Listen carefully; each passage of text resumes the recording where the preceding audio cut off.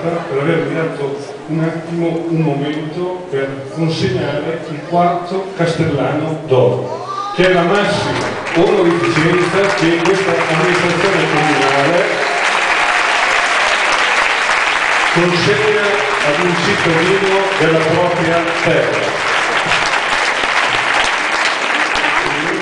della nostra cittadina